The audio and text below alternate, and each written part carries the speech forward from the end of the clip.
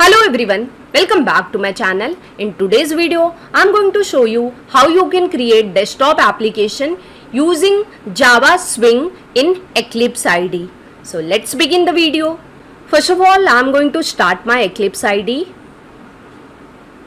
Okay, my IDE has been started. Let me show you whether I have option of window builder or not. In Eclipse, window builder is used for creating swing based application. So here you can see I'm not having any option such as window builder and if I click on other also and here if I type window builder there is no such option. So I'm going to show you steps how you can get the option for creating swing based application. Now let's go to Google and search for Eclipse Window Builder. So I'm just cancelling it and I'm going to Google and here you can type Eclipse Window Builder. Okay, it is showing me this search result here. I'm having official website eclipse.org.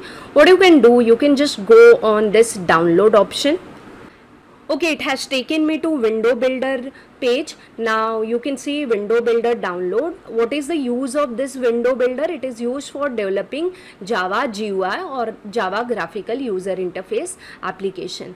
And here are certain download link. This is the current release or current version. You have to just click on this option. So this is going to download a zip file. So i'm just clicking on this link.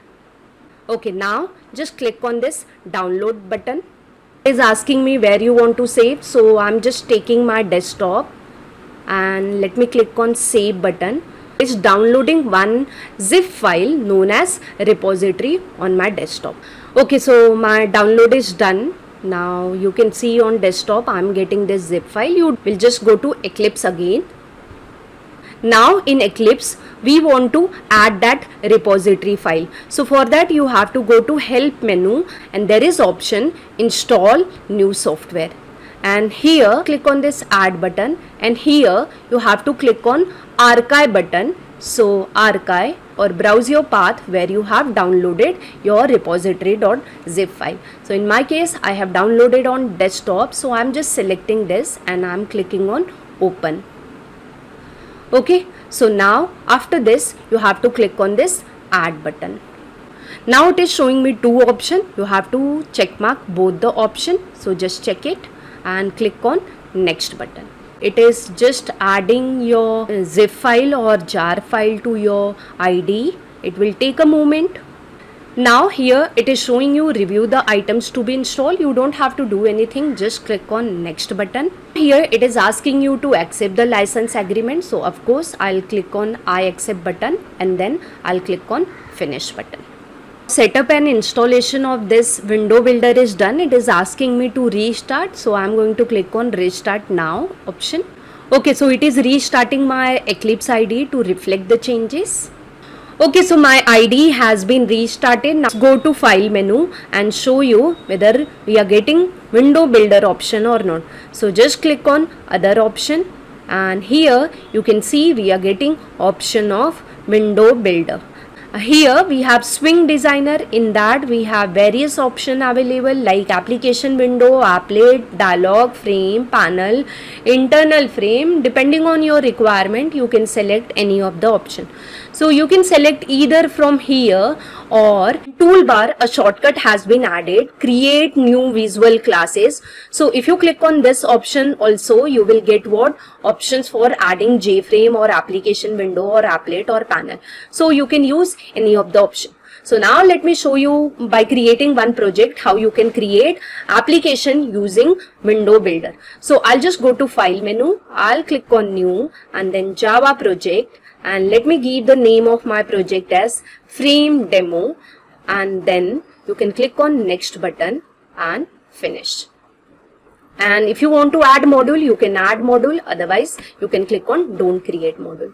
Okay so now my project has been created. Now what i'll do i'll add frame.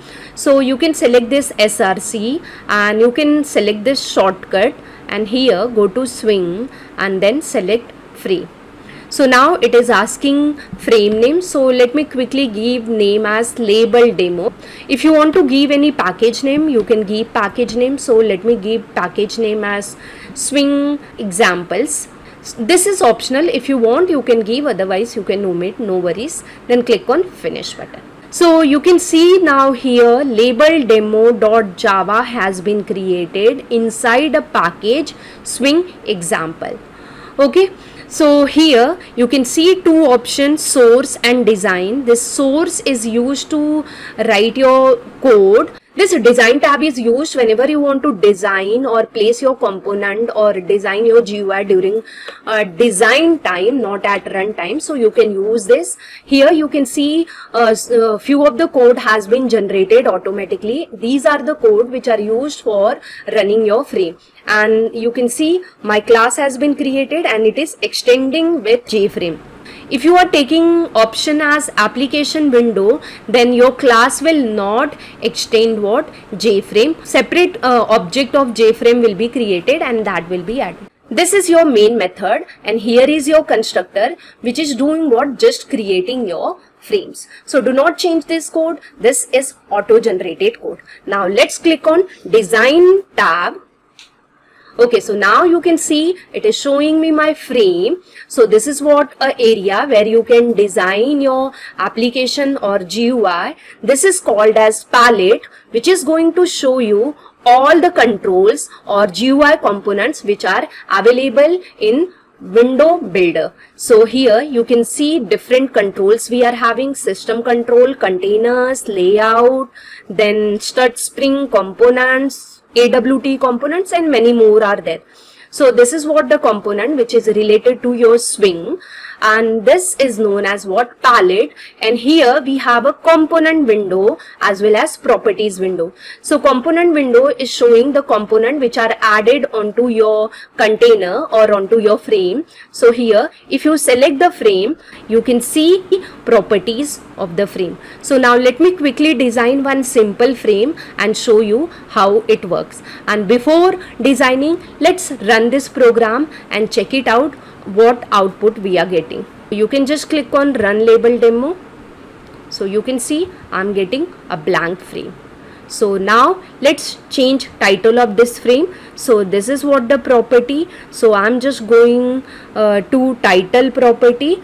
So this is title of my frame okay now let's change layout of this uh, content pane. The default layout is border layout. You can select this content pane from here or you can select from here. It will show you property of that particular object. So content pane layout it is showing default layout as border layout. I'll just select it and i'll make it absolute. So it is going to give me freedom to add my control at any place now I'll just take label and I'll just drop my label over here. Now the label has been selected. You can see it is showing property of label and you can see the variable name it is showing LBL new label. So if you want to change variable name you can change. I'm not changing for time being. Now here in text what you can do you can uh, write something whatever you want to display to user. So I'm writing enter something okay? And here it is showing it in very small. So what you can do you can just change font of this. So go to font property and click on this ellipsis and just make it bold and just increase the size and just click on ok button. So my uh, component uh, font has been increased. So if you want to resize your frame you can resize your frame width i'm going to take this text field. To select any component you just need to single click it and you can just drop over here.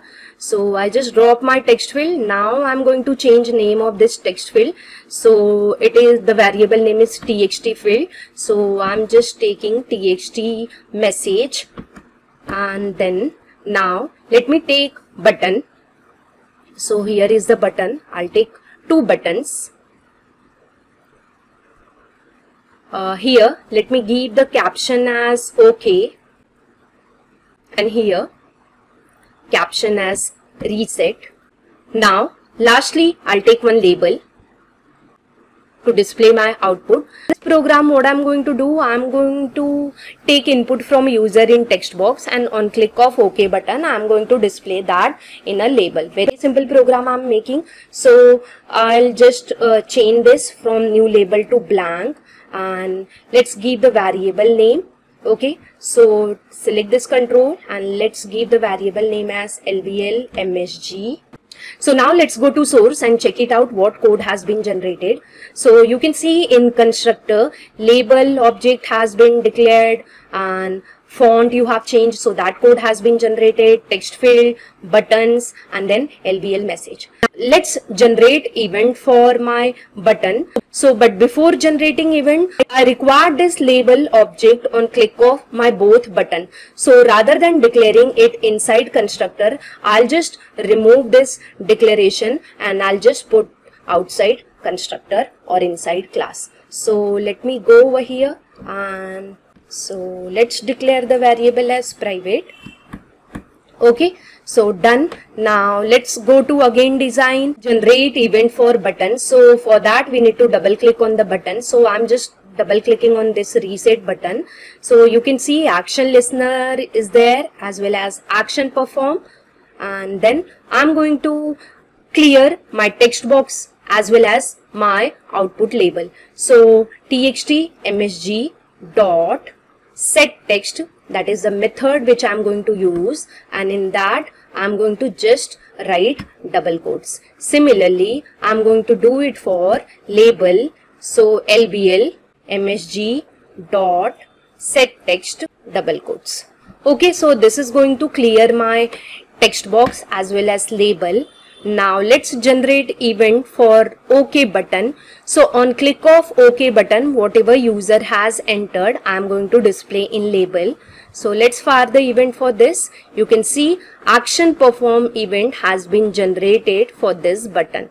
So now I'm going to write lbl msg dot set text what I want to display I want to display the things which are there in my text box. So txt msg dot get text whatever is there in my text box I'm going to display that into label. So therefore I have used set text method and here I have used get text method. Okay so my program is done. Now I'm going to run my program. So just right click and you can select run as option Java application.